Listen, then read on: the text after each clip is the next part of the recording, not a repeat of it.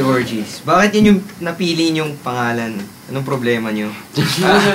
Ah, um, may close, ano kasi yun eh, may close race kasi yun between either Gory Orgies, Chris Aquinos, ah, ah, yun, yun, yun. Sean- Sean Andaluz. Pati na Sean Andaluz.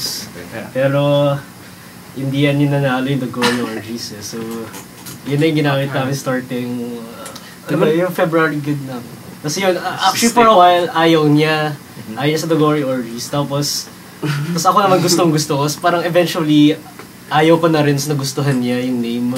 Ah, okay. So, parang by the end of the year, nagustuhan na namin pareho. Okay, ayos yun. Akala ko kasi dati grindcore kayo eh. Ganun yung pangalan nyo eh. Ah, How I wish. Hardcore. Ah, It's a different kind of grind.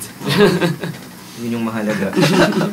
so, um, yeah, I guess, ang strange and unique ng sound niyo. Um, sino yung masas- tatawag niyong influences? Or Once. lahat kayo magkaiba? Ano ba, is, 90s. most of mga, like, pavement ata, uh, Ah. nire-rip off namin. Don't hug me, I'm scared. Don't hold you, I'm scared. Stylistically. Stylistic.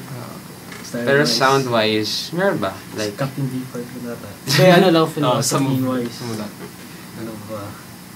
Ah, Every pavement ka talaga. Pixies. Pixies, oh, yeah. actually yan.